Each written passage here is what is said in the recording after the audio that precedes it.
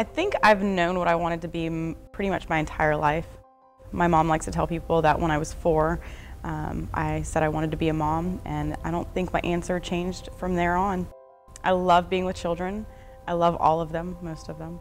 Uh, I work in a preschool because I just get my joy and fulfillment from them and believe that that's my purpose in life.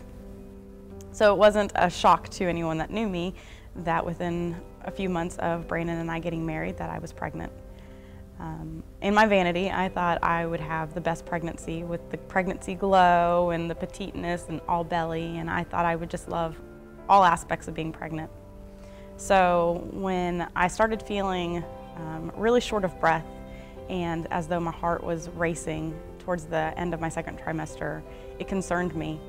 Um, when I brought it up with my doctor, she had told me that that was just normal symptoms and that I was just experiencing first pregnancy anxiety um, but in my gut, I didn't, I didn't believe that. Um, I just knew that something was not right. It was around 35 weeks that um, I went in for a routine checkup and my blood pressure was considered dangerously high and they had me go to the hospital for observation. Um, after about 24 hours of observation there in the hospital, they decided that I had severe preeclampsia and they induced me. Um, after three days of trying to deliver naturally, um, I was taken in for an emergency C-section and William was um, delivered late Wednesday evening, December 5th. For the first 24 hours of his life, I was fairly sick and was unable to get to the NICU to see him as my own health was being addressed. And those were probably the hardest 24 hours of my life to know that he was so close and yet I could not see him or hold him. Thankfully, about 10 days into the hospital stay, we were both discharged and able to go home together. For about a year after delivering William, um, I struggled with a feeling like my heart was bracing, I was short of breath, the same symptoms I had during the pregnancy. Um, and this time I just kind of blamed it on the fact that I was a new mom and I was getting very little sleep. And, um, and then after about a year, I decided, well, maybe it was worth having someone check it out.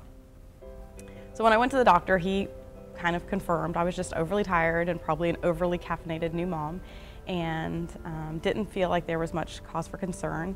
I didn't look sick and so he, he didn't feel like there was much to do. However, I insisted on getting a referral and I think that that referral truly saved my life. Um, I went and met with a cardiologist and he, he listened to me, he cared about me, he was invested in making sure that I felt better. For the first time in a long time, I felt like someone was on my side. The cardiologist then ordered um, a full run of different tests to figure out um, what was going on and what was causing these symptoms. Um, I, one of the tests he had ordered was an echocardiogram, and I can remember laying on the bed while the um, the test was being done by the technician and seeing her facial expression and knowing that she had discovered or found something that was not right. Um, I even went home that evening and prepared my husband that something was found today. Um, about a week later, my husband and I met with the cardiologist and he gave me my diagnosis. Um, and I remember him telling me and me just kind of thinking, okay, he's just telling me I need to eat healthier and be less stressed and but then as he kept talking, I realized that was not the case. Um, he had discovered that I had a bicuspid aortic valve, um, which is a congenital heart defect. And essentially, I was born with a defect in my heart and had gone 31 years without knowing it. My husband and I then met with a cardiac surgeon, and he said that I was not at this time a candidate for the open heart surgery. He said that because there are constantly advancements in the medical profession, and we didn't know what kind of options would be available to me in three to five years. He then also said that um, while it is a procedure that he does regularly, because that's his profession, it is a higher risk um, operation, and um, there is a risk of a stroke after the procedure. And if anything were to happen to me, he would have comfort knowing that he gave me those three to five years with my family.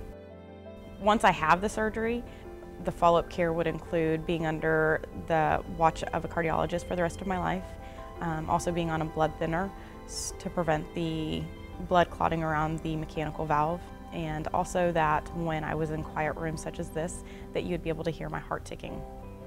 He also recommended that I have my son William checked out as this is considered a genetic heart defect. Thankfully, he has a perfectly healthy, beautiful heart, and he's just growing fine and no complications from me.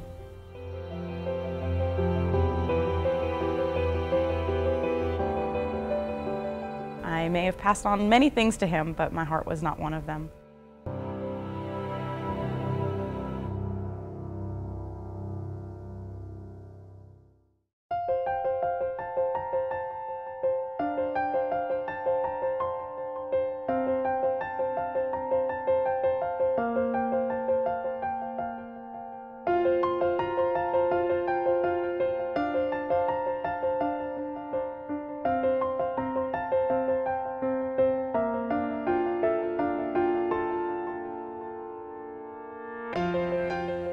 It is because of the American Heart Association and the generous people like you that I know I will watch my son grow up. And it gives me hope as to what my options might be for when my heart does need to be fixed. So for that, I thank you from the bottom of my heart, and my family thanks you.